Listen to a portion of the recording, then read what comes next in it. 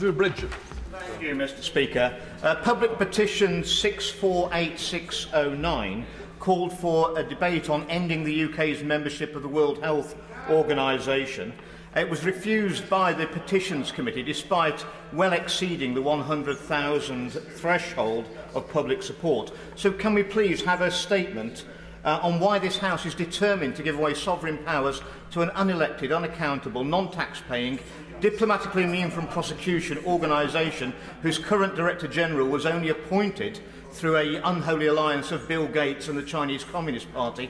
And perhaps the Leader of the House would say, would say why, would say why uh, the WHO, the World Health Organization, has joined excess deaths and vaccine harms as things we just can't talk about in this House.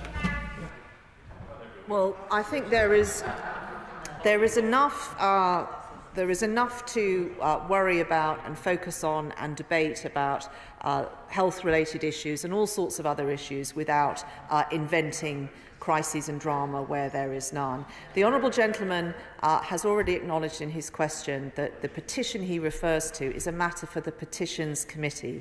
That is a committee of this House. Uh, I am not responsible for the decisions it takes. Um, I will facilitate and help the Honourable Gentleman secure debates, raise questions and, uh, and anything else that he wants to do on any topic uh, that he wishes to campaign on. And he will know because he has secured debates in this place, and indeed they have been well attended debates, that this House is very open to discussing all sorts of issues, including uh, the World Health Organization, including uh, the treaty that I know the Honourable Gentleman is concerned about.